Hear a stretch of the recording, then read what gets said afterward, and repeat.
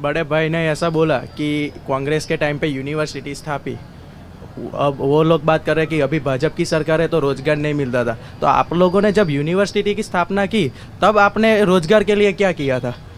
Students के लिए आप लोगों ने क्या किया था? तब जब ऐसे, इधर आज के टाइम पे आप देखो तो एसएसआईपी की ग्रांट मिल रही है अढ़ी लाख जैसे। तो आप लोगों ने उस टाइम पे यूनिवर्सिटी स्थापित तो उस टाइम पे बच्चों का भविष्य क्यों नहीं देखा था?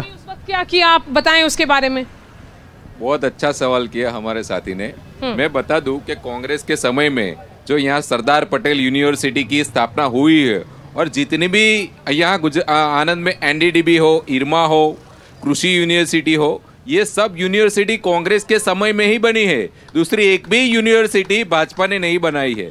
दूसरी बात ये रोज़गार की करती है तो मैंने पहले भी बताया कि यहाँ जो वल्लभ विठल उद्योग नगर है जीआईडीसी वो भी कांग्रेस ने ही बनाई थी। इसीलिए आज वहाँ पे रोज़गार है।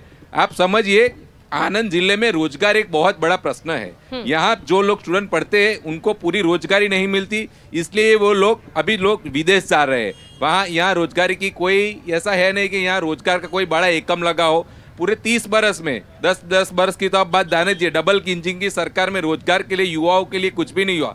यहाँ के युवा जाते, बरोड़ा जाते, सूरत जाते हैं, नडियाद के आगे जाते हैं। पर आनंद में अभी तक कोई भी रोज़गार नहीं।